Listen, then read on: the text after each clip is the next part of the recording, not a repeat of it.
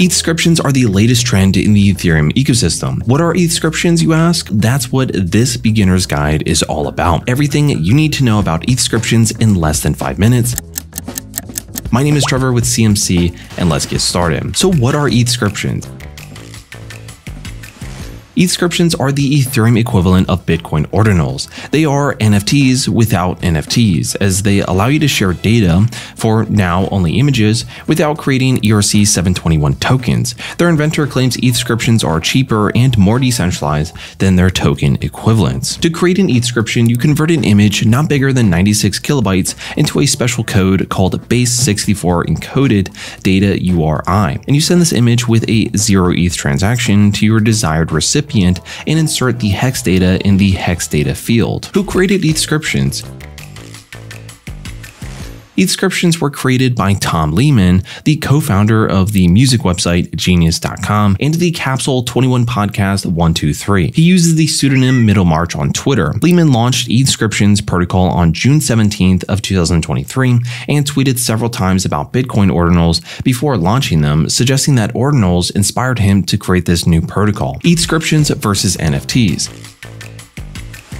So the key difference between ETHscriptions and NFTs are that ETHscriptions use transaction call data to store the image, and NFTs use smart contracts to store the metadata and link to an external source storing the content. ETHscriptions are technically cheaper to create and transfer than NFTs as they only require a zero ETH transaction with some hex data. You can make the argument that ETHscriptions are more decentralized than NFTs since they host content natively on Ethereum without relying on third-party storage. ETHscriptions support all data URIs, while NFTs are limited by the smart contract standards and platforms that they use. ETHscriptions are currently limited to images, which is something that Lehman plans to change in the future. However, images have also been by far the most sought after content for NFTs. ETHscriptions have a size limit of 96 kilobytes, restricting the potential for more complex and detailed data at the time of this video.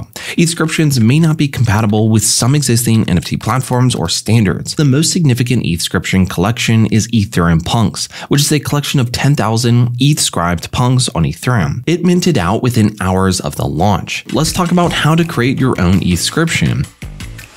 ETHscriptions can be created within a minute. Number 1. Convert an image, which you can have the maximum size as 90 kilobytes, to a base 64 encoded data using base64-image.de or other similar services. The ETHscriptions protocol currently supports images, but other file types will be available.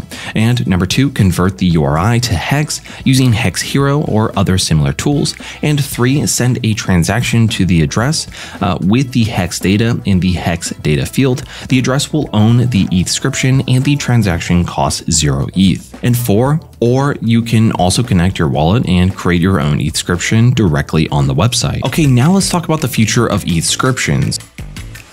So ETHscriptions follow the big hype about Bitcoin ordinals and BRC20 tokens, but with NFTs being a native feature of Ethereum, you can't help but wonder whether ETHscriptions are actually necessary. As so often in the crypto space, the future of an innovation will depend on the uptake by the community. Lehman is bullish that ETHscriptions will find their place in the future of Ethereum scaling, but some in the NFT community are less bullish on their future. At the time of this video, they have not caused a spike in gas fees, and whether ETHscriptions will be able to match the demand for ordinals remains to be seen. Let us know your thoughts about ETHscriptions in the comments down below.